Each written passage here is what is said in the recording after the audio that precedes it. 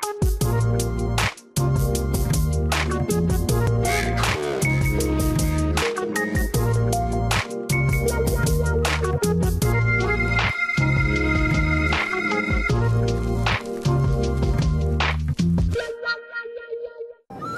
Vyšel už Dikobraz? Ano, prosím pěkně. Je to poslední číslo? Ano, poslední číslo, pane.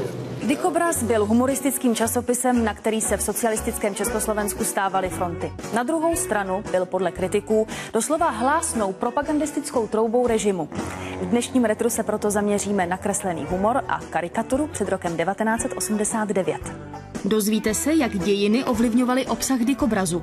Na stránkách Dikobrazu je nepochybně obrazová historie Československa, poválečného Československa a není to historie teda nikterak pěkná. Autoři nám povědí, jak to v redakci Dikobrazu fungovalo.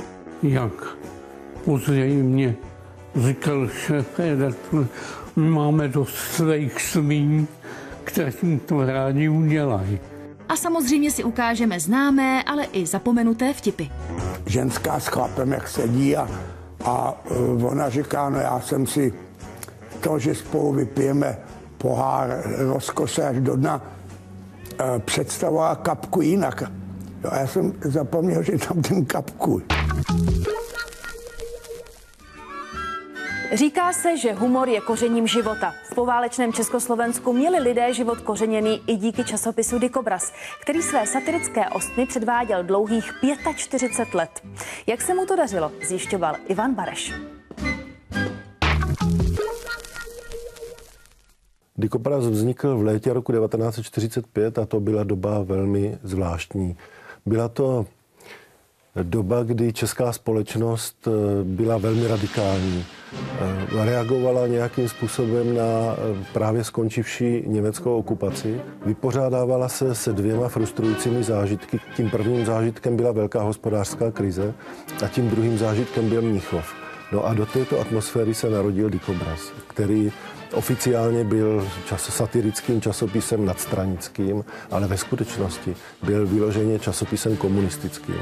No po únoru 48 už potom nebylo vůbec co skrývat a ten dikobraz se změnil v nástroj komunistické propagandy, komunistické politiky.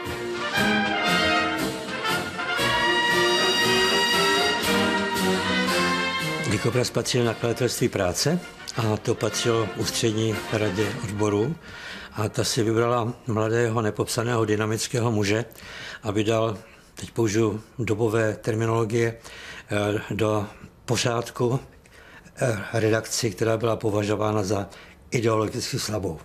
Prohlížíme-li si jeho stránky právě v této době, tak vidíme, že, že to, co se tam zveřejňovalo, už snad ani nelze nazvat humorem, ani satirou, že to bylo něco teda nesmírně primitivního, že to byly takové primitivní, vulgární útoky na, na oběti těch politických procesů a vůbec na všechny, kteří byli v té době pokládáni za politické nepřátele. Takže eh, můžeme říct, že skutečně v začátku 50. let prošel Dikobraz s tím nejhorším obdobím své historie stačilo udělat třeba velkou botu a ta bota vykopávala ty imperialisty ozbrojené, zašlapala je do moře, vykopla je a tak. Takže ty vtipy s tou botou byly velice časté tam a lidi to ani moc nevnímali, protože to bylo pořád stejné. Eh, dneska se mě po 60 letech nemůžete eh, ptát, proč mi to přijde pochopitelně trapné. Ale eh, nezapomeňte, že my jsme skutečně jaksi, nejenom já, ale celá společnost vyrůstala jaksi s jinou přípravou. My jsme skutečně prošli strašlivým tunelem války a to se dělo několik let po válce, nám prostě přišlo jako vysvobození, než se začalo zjišťovat, že to byla cesta od četa k ďáblu. Už rozwiel czas, a po ní nadziejemi swobody slunce prší z oblaku. Przed są drudzy les zaslíbenou zemi, kde už není pánu ani žebraku. Przed są drudzy les zaslíbenou, kde bylo páně, bylo podněku.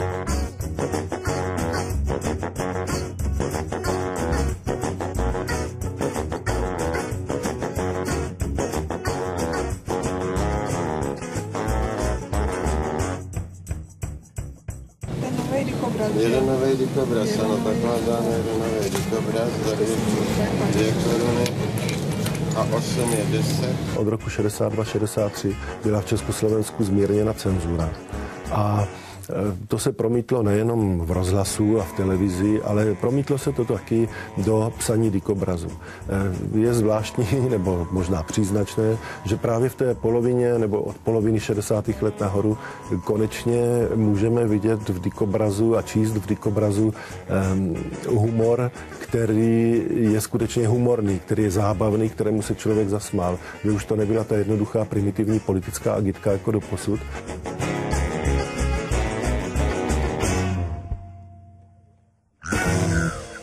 Potom v těch 60. letech se to skutečně uvolňovalo a člověk nevěděl, jak dalece má jít, tak jsme to zkoušeli. Ta, samozřejmě, že ta sebecenzura tady byla, ta autocenzura tady byla, ale zkoušeli jsme to, jestli by se dalo udělat tohle, nebo se ne, ne, ne, to nedalo udělat. A přišlo to tam do té redakce a řekla si tohle, všichni se tomu smáli, ale tohle nezveřejníme. V tom 68. a konečně, konečně jsem si mohl dělat srandu z těch Rusů a z těch bolševiků. Jo. A tak jsem to samozřejmě využil. A i když mi bylo jasný, že to asi odnesu, že, že, že, že jako asi se za to zaplatí nějak.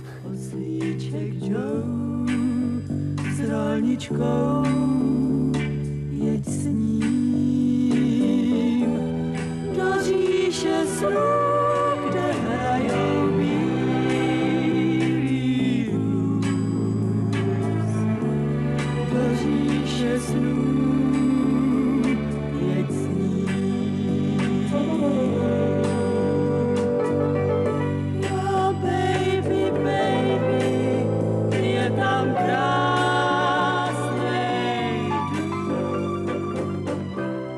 Pamatujete si časopis, který se jmenoval Dikobraz? No jistě. Kdo by si nepamatoval Dikobraz? No, mi se líbil, ale už přesně nevím, si nepamatuju, co v tom bylo tak nějak. To bylo jako něco pro jako čtyřlístek, jestli se nebyl něco podobného, akorát ten Dikobraz byl takový spíš vyspělejší trošku. Mě zaujaly vždycky ty vtipy o těch ženských vždycky, no.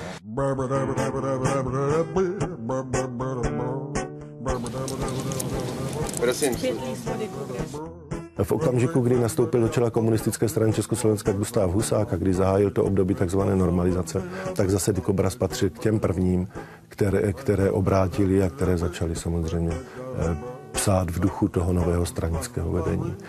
Vždycky, když byly volby, tak oni, oni chtěli, aby jako se dělali takový pozitivní, pozitivní vtipy na to, ale prostě by se tam byly taková partička lidí, my jsme prostě dělali mrtvý brouky. Jo. Tak jako jsme nechtěli dělat tu komunální satiru. Můžeme říct, že, že ta 70. a 80. léta jsou stejně odporná jako ta léta 50. Sice Dikobraz už nevolal po smrti a ne, ne, nevyzýval eh, k fyzické likvidaci třídních nepřátel, ale byla to jenom překreslovaná politická usnesení politických stranických orgánů. Dokonce ani se nesnažili předstírat, že jde, že jde o vtip. Úplně koncem 80. let se i v československém tisku začaly projevovat pokusy o, o svobodnější a volnější psaní. Ale myslím si, že Dikobraz zrovna patřil k těm, kteří se tomu velmi dlouho a úporně bránili. Tak přišel listopáta Niko Brzáník. Pavel Kohout opustil redakci Dikobrazu v roce 1952. V Československu bylo v té době v plném proudu stíhání odpůrců komunistického režimu, ať už skutečných anebo domělých. V listopadu proběhl nechvalně známý proces s protistátním spikleneckým centrem Rudolfa Slánského. Ve světě se zatím pomalu rodil nový poválečný řád. Američané si za prezidenta zvolili Dwighta Eisenhowera a v Británii se stala královnou Alžběta II. Blíže k našim hranicím vzniklo Evropské společenství uhlí a ocely, předchůdce dnešní Evropské unie. Nobelovu cenu získal lékař a misionář Albert Schweitzer a Emil Zátopek si na letní olympiádě v Helsinkách doběhl pro tři zlaté medaile.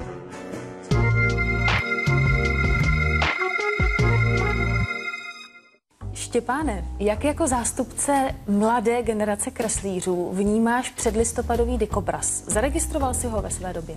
No, zaregistroval jsem ho samozřejmě, já jsem si ho kupoval pravidelně, nebo teda rodiče ho kupovali. On to snad byl taky jeden z mála no nevím, jestli se tomu dá říct humoristických časopisů, ale aspoň se tak tvářil, takže alespoň něco se každý týden dalo tam přečíst a něčemu se přece jenom zasmát dalo. Jaké bylo vůbec to řemeslné zpracování vtipů? Když jsem viděl některé ty vtipy třeba z, ze začátku 50. let, teďka pro Bůh nemyslím obsahově, ale jak říkáš, řemeslně, technicky zpracovaný, tak já mám pocit, že to byli kreslíři ještě z takové staré školy, ještě z takový ty, to řeknu hloupě, eh, z ty, buržo, z ty bur, buržoazní školy, že? z těch A jak 30. se to pozná? let. Jak se to pozná? Eh, Bylo to řemeslně udělané dobře. Ty, ty vtipy byly, myslím, ty figurky nebo ty, eh, jo, ten, ten prostor, ty figury, ta vůbec, prostě ty, ty výjevy byly, byly řemeslně dobře zpracovaný. Teda říkám, obsahově to byla hrůza. Ale potom nastoupila v, v té kresbě v 60. a hlavně 70. letech taková zkratka, takže se dostali do dikobrazu lidi jako eh, Honza vyčítal a spol a tomu teda vyčítalovi neustále vyčítali eh, lidi, čtenáři, on sám mě to taky vyprávěl, že to dostával stovky dopisů, že ať to takovýhle hrůzy jde kreslit někam jinam, že to nejsou lidi, že, to jsou z, zrůdy, prostě obludy a nevím co všechno. Uh, Vladimír Jiránek, toho jsem měl moc rád, ale ten se v dikobrazu až tak moc nevyskytoval, on jako taky moc nemohl. Ale taky je to teda úžasná zkratka oproti, oproti já nevím, konce 40. Mm. let nebo, pade, nebo, začátkem, nebo začátku 50. let. Říkám, řemeslně se mi to zdálo uh, udělaný dobře, pěkně. Pokud by tam teda nebyl bohužel nakreslený tlustý imperialista, která je zapíchán vidlemi hmm. bodrého sedla, eh, pardon, sedláka, bodrého eh, člena JZD a tak, tak dále. Že? Karel Čapek říkával, že humor je nejdemokratičtější z lidských zvyků. Kolik demokracie zažívali tvůrci dikobrazu v převážně nedemokratické době? Kde čerpali inspiraci a jak fungovala cenzura? Dozvíte se v další reportáži. Když jsem se stal šéfredaktorem, tak tam v redakci pochopitelně zavládlo zděšení, eh, poněvadž se domnívali, že přijde mladý segirář, který to všechno povyhazuje. A já jsem se naštěstí, přestože jsem byl dost mladý, uvědomil, že nemám šanci proti lidem, kteří skutečně tenkrát patřili mezi koryfe humoru satiry. Eh, takže jsem se zdvořile představil a řekl jsem jim, že si jich vážím a byla z toho plodná spolupráce. Přišel jako nový šéf redaktor, byl veliký komunista, pan Kohout, který to začal utahovat a začal to dělat jako vážně a začal to dělat stranický časopis.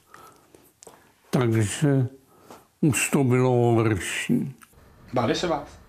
Já si myslím, že jsme zpočátku velmi báli a že ta obava eh, rychle ustoupila, protože mám takovou zkušenost, že kdo mě eh, blíž poznal, tak eh, zjistil, že zásadně neubližuju. Vy jste mohl kritizovat ředitele, náměstka ředitele, mohl jste kritizovat nějaký podnik, že dodává sknělý brambory, nebo že včas nevykopali řepu a tak dále. Ale už jste se nesměl dotknout ministra. Jakmile by to bývalo směřovalo do ministerstva, tak okamžitě ta cenzura zasahovala. A ona ani nemusela zasahovat, protože každý si tu cenzuru dělal sám pro sebe, protože si byl vědom toho, co může a nemůže. Aby se ten časopis naplnil, tak my jsme psali pod různýma pseudonymy. Já jsem měl dokonec, dokonce 11 pseudonymů. Takže každý, kdo měl teoreticky, já jsem měl 11 pseudonymů, kdybych 10 těch autorů v uvozovkách bylo zakázáno, tak ten jedenáctý jsem furt ještě já, takže pořád ještě pořád můžu psát. Byly, byly jako opravdu takový vtipy, který neublížili jako režimu. Ale jestli jste z dikobrazu, tak vám to Něco tam bylo vtipný, něco ne, no. Mně to bylo jedno, co je to za vtip, no. Takže díval jsem se na to, prostě, který vtip mě pobavil, tak u toho jsem se nějak zastavil, no. Smála jsem se a nebyl zprostej, to bylo hlavní. Já jsem rád ženskou, tak jsem je, tak jsem je slíkal. Ale jak se atmosféra uvolňovala, tak jsem ji začal natáčet z boku a skoro ze předu. A úplně ze předu. Oni to tolerovali. A nejenom američani udělali nějakou akci proti Kubě nebo podobně, tak tím okamžikem jsem musel zase ženská otočit zády do diváků. Pak se taky stalo, že tam přišel nějaký Štolovský a to byl takový bolševik jako tvrdý. On nám takhle hodil bělobu a řekl, naši pracující nemají takhle dlouhý nosy. A my jsme museli zkracovat ty nosy bělobou, to zamalovávat a zkracovat to, jo.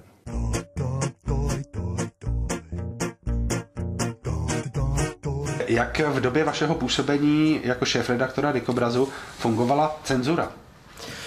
Nemusela fungovat nějak, protože jsme ji měli v sobě jako autocenzuru. Eh, skoro všichni, protože jsme ještě stále se domnívali někteří z nás, eh, že to jsou prostě chyby jednotlivců a ne eh, problém systému a režimu. Ten strach tady byl.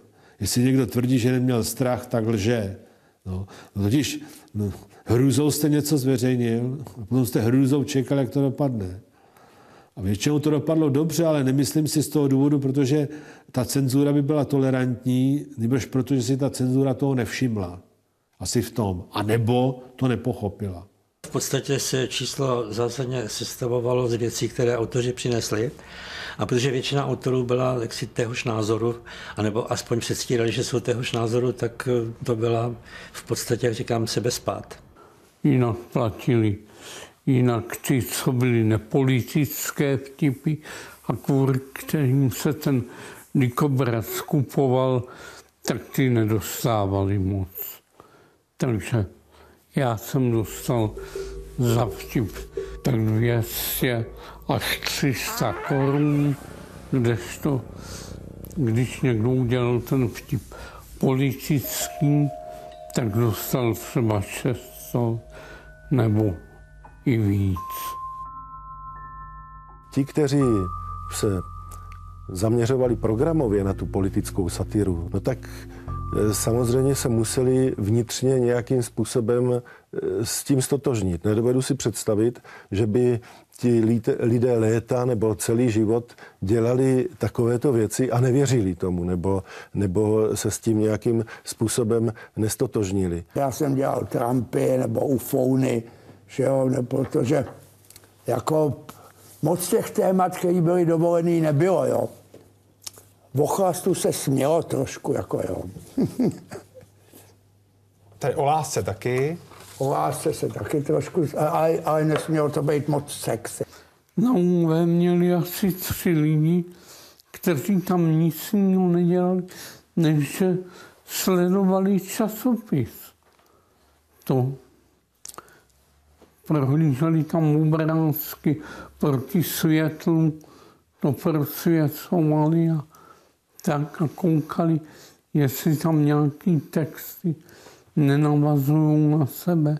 Já samozřejmě žádného z těch autorů nepodezřívám z toho, z toho, že by tomu režimu, kterému vnitřně třeba měl velmi daleko, chtěl nějak vědomě posluhovat nebo, nebo ho podporovat, ale prostě žili jsme tady a každý, eh, každý měl ty limity někde, někde jinde. Bodnutí dikobrazí je osnu jsme se poprvé zasmáli 25. července 1945 a od té doby dikobraz dokazoval, že smích je nejúčinnější prostředek ke změně myšlení lidí tenkrát 25, dnes 530 tisíc výtisků časopisů s druhým největším nákladem u nás, zmizí ze stánku takřka bez zbytku.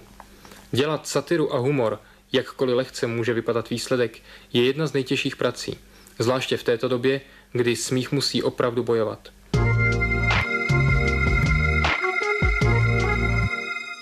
To vlastně nebyla cenzura, co se mi stalo v poslední době. To je spíš jenom taková kuriozita. Eh, určitě jste si všimli, jak eh, Bulharsko zareagovalo na na kauzu entropa, plastiku. Eh, tureckého záchodu. Tureckého záchodu, že jejich země spodobněná jako turecký záchod.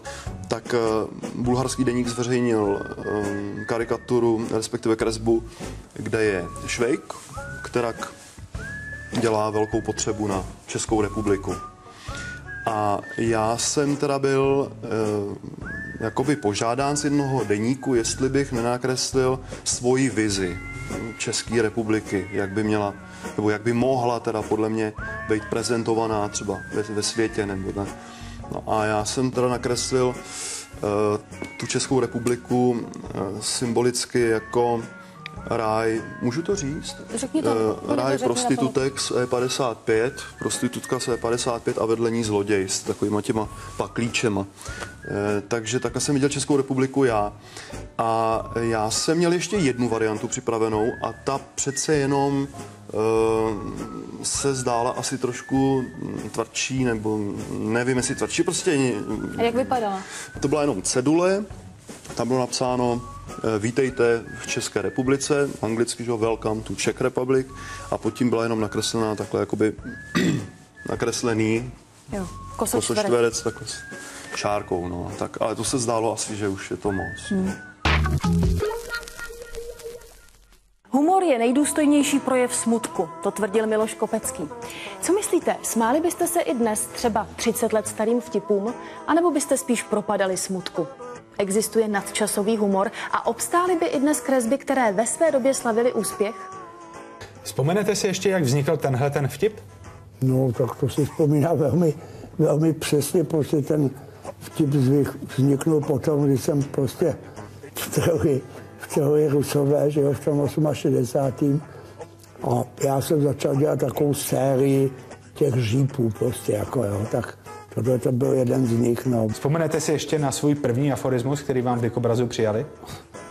První byl v roce 1960 a bylo to, je mnoho eh, tragických srážek, ale nejtradičtější je, když se srazíte s blbcem.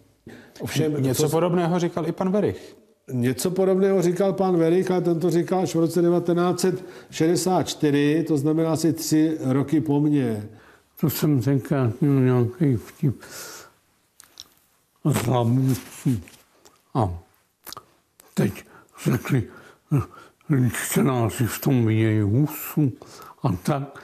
Také mě Bešta přišel, jsem říkal, ty jsi udělal husu, já říkám, to je blbec, kdo si mohl splet husu z Labutí, tak jsem mu tady jel školení, protože já jsem bývalý přírodopisec, tak jsem mu říkal, Musa vypadá tak, má zobák takový červený, hladký. Já tam nakreslil labuť.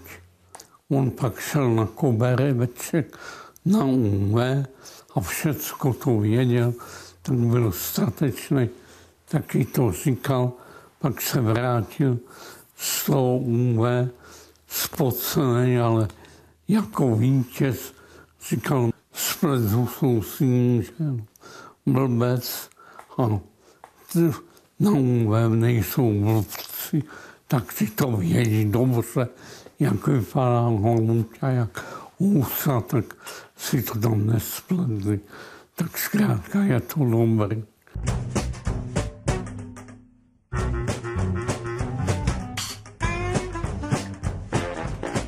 Každý komunistický stát měl takovýhle, eh, takovýhle časopis, jako příklad bych uvedl sovětský krokodil, který byl častou předlohou pro, eh, pro československé kreslíře. Eh, buď toho kopírovali ty kresby, které byly v krokodilu, anebo ještě častěji je přejímali do, do dikobrazu. A v Polsku to byl časopis, který se tuším jmenoval Špilky, ale ta, ta satíra byla účinným nástrojem politického boje každého, každého komunistického režimu a exist, tyto časopisy existovaly v každém komunistickém státě. Byl prostě to správný humoristický časopis. No tak jiný nebyl, tak ho všichni kupovali, že jo? No. Jste si ho kupoval? On co? Já? Já nepřijdu. On se kupoval. Tak kdo si ho kupoval? No, se přiznaj. My samozřejmě taky ten časopis posuzujeme dnešníma očima, nevěřícně kroutíme hlavou, eh, protože si říkáme, že něco takového není možné, ale eh, zase pokud posuzujeme nějakou dobu, hodnotíme ji, tak se na to musíme dívat očima těch lidí, kteří, kteří v ní žili a, a ti třeba samozřejmě v tom časopisu mohli spatřovat různé humorné prvky, které nám dneska jako humorné vůbec nepřijdou.